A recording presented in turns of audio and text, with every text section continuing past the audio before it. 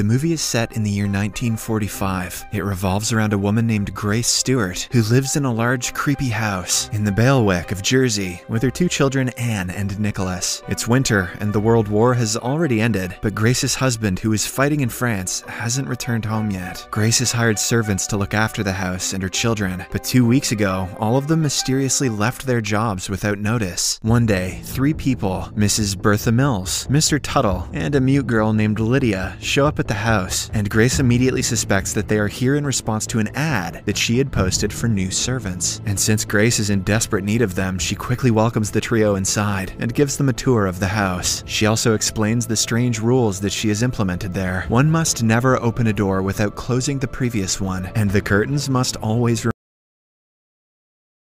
children are photosensitive. They break out in rashes and sores if they are exposed to even a small amount of sunlight. Grace further explains that the house doesn't have a telephone or radio because she prizes silence. Moreover, there isn't any electricity because they are used to living without it.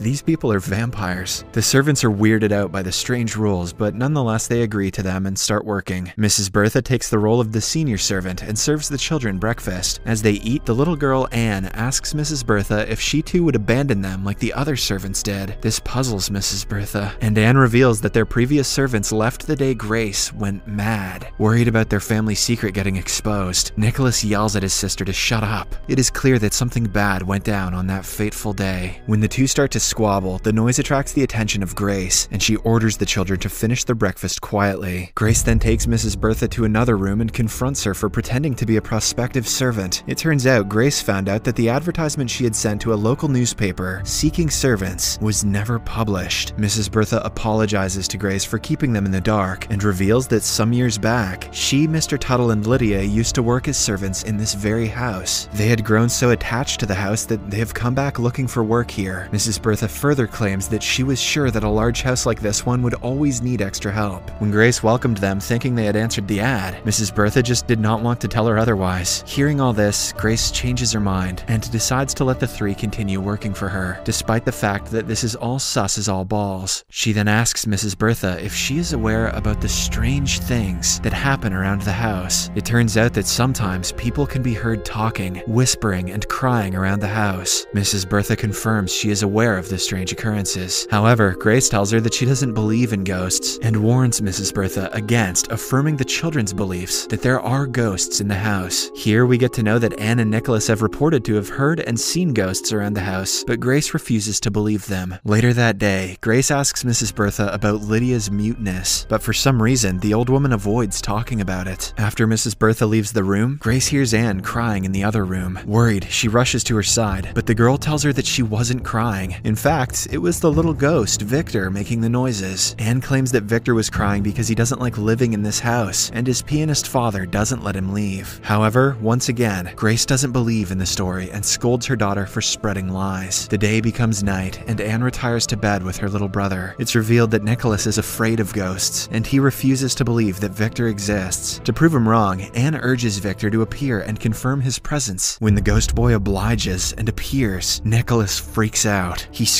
help, prompting Grace to rush to their room. Enraged, she immediately punishes her daughter for feeding ideas into her brother's mind. Anne accepts her punishment of memorizing the Bible, but refuses to deny that Victor and other ghosts exist. One day, Grace hears someone running upstairs. When she goes to inspect, she asks Anne about the noise, but the latter denies hearing anything. Grace then presses her daughter for the truth, promising to not punish her. It turns out Grace is fed up with denying the truth and wants to get to the bottom of the strange occurrences around the house. Anne finally admits that there's someone in the nearby room. When she goes to inspect, Grace sees an invisible figure leaving the room, opening and closing the door behind them. Terrified, she rushes out and asks Anne about them. The little girl reveals that the ghosts claim to own the house, and they are now planning to reclaim it. Grace begins to panic, and she discusses the incident with Mrs. Bertha. The old lady calms her down, and Anne shows her a picture of the ghost family that allegedly lives in the house. It turns out Victor lives with his father, mother, and an old woman in the house. Anne Anne claims that she has seen the old female ghost the most. Hearing all this, Grace finally believes her children, and she calls all the servants and carries out a ghost hunt. Bust out the peanut butter boys, we're catching Casper tonight. She orders them to open all the curtains so there aren't any dark corners where someone could hide. However, they fail to locate anyone. Instead, Grace comes across pictures of the previous owners of the house. She also finds a photo album, and strangely, in all the pictures, the people photographed are sleeping. Grace asks Mrs. Bertha about the strange album, and the old woman reveals that the people in the photographs aren't sleeping. They are actually dead. It's the Book of the Dead. In the last century, people used to take photographs of the dead in the hopes that their souls would go on living through the portraits. Grace is shocked by the tradition, and Mrs. Bertha comments that grief over the death of a loved one can lead people to do the strangest things. As expected, Grace is weirded out by the books, so she orders Mrs. Bertha to destroy them. Later that night, she sits down with Mrs. Bertha and talks to her about the previous owners of the house, who apparently moved to London. Grace again asks her about Lydia's muteness, and the old woman claims that the little girl stopped talking one day for no reason. However, Grace finds the story hard to believe, as she feels like Lydia must have gone through some sort of trauma for her to suddenly stop talking. That night, Grace wakes up to the sound of someone playing the piano. Must be the penis father. Or, uh, oh, the pianist. Pianist father. That makes more sense. When she walks over to that room, she again witnesses the presence of an invisible being and gets frightened.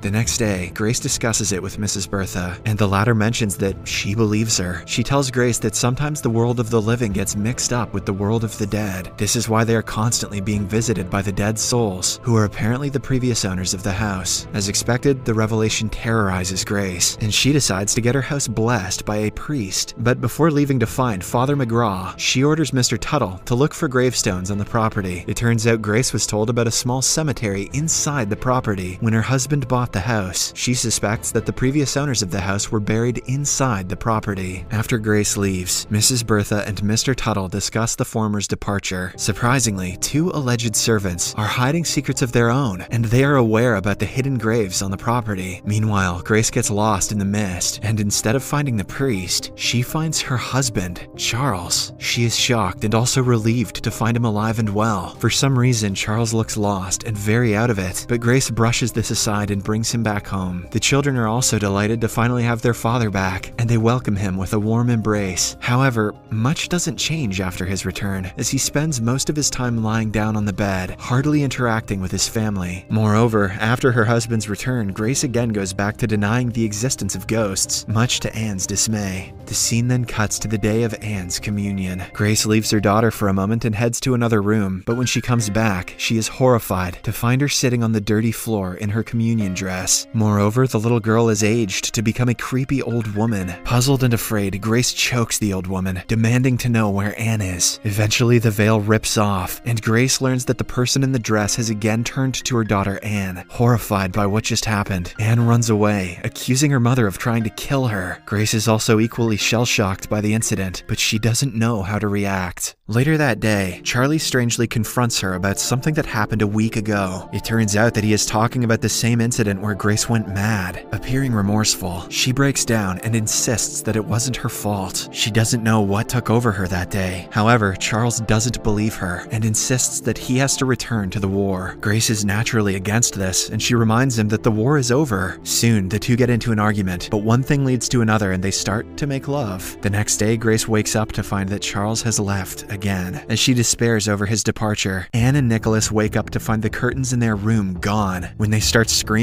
Grace quickly rushes to their side. She tries to take them to a dark room, only to realize that all curtains from the entire property have been removed. Left with no choice, Grace blocks the light from the window with a chalkboard. But surprisingly, despite them coming in direct contact with sunlight, the children don't break out in rashes and sores. Instead, they demand to see their father, but with a sad look, Grace reveals that he has left again. She then confronts the servants, demanding to know where the curtains went. However, they appear to be nonchalant and suggest that Anne and Nicholas are no longer allergic to sunlight. This infuriates Grace, and she orders them to leave the house. Afterwards, the children nervously hear their mother turning the house upside down looking for the curtains. Afraid that she has gone mad again, they decide to sneak out of the house in search of their father. Grace eventually makes her way to the servants' rooms. There, she finds a photograph of Mr. Tuttle, Lydia, and Mrs. Mills, inscribed 1891 from the Book of the dead. This reveals that the three are also ghosts who had died over 50 years ago. On the other hand, Anne and Nicholas come across the gravestones of the same three servants. Surprisingly, the trio appears in the distance and starts approaching Anne and Nicholas. Afraid, the children run back into the house with the servants following. They reunite with Grace, and she immediately jumps in to protect them from the approaching ghosts. She tries to shoot them, but as expected, the bullets have no effect on the ghosts. However, Grace locks them out and tells her children to hide. From outside the door, Mrs. Bertha tells Grace that she must learn to live with the dead in the same house. She claims that she and her friends died long ago when they contracted tuberculosis. And just like Grace, they were unaware about it for a few months and kept living in the house as if nothing had happened. But one day, they eventually got to know the truth, and that is when Lydia went into shock and became mute. Mrs. Bertha continues that even if she and her friends leave, the other ghosts will never leave the house, and they will eventually find Anne and Nicholas. Soon enough, the old ghost lady from earlier in the movie finds the children, who yell for their mother. Grace rushes upstairs, and there she notices the old lady and Victor's family sitting around a table. It's clear that they are performing a seance to speak to Grace and the children. The old woman is acting as the speaker. Here, in a shocking turn of events, it is revealed that Grace and her children are the actual ghosts. Moreover, the woman and the other people sitting at the table are normal humans who have been tormented by the dead's presence. Grace and her children are already dead, but they are unaware of it and continue living as if everything is normal. The old woman tells the children that they are dead and asks them about what happened on the day they were killed. Grace panics and tries to stop the seance. When nothing works, she grabs the medium paper and tears it apart, eventually managing to break the seance. Later, Grace finally comes to terms with the situation and reveals about the day that she went mad. Her husband Charles hadn't returned from the war, and this caused her to spiral into depression. And on that fateful day, she couldn't bear the pain anymore and killed her children by suffocating them. After this, she committed the